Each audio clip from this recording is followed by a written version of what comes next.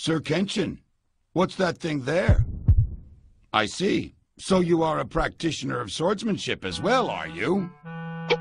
Oh, I understand why you've come to me. You must be seeking to join my dojo, are you not?